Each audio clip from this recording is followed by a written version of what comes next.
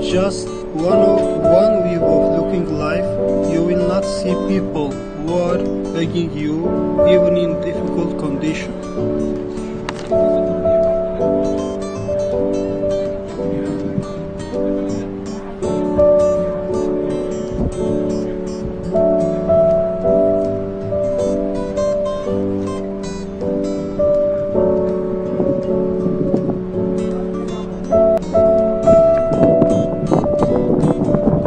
We need to look wide to understand each other and finish the violent extremism.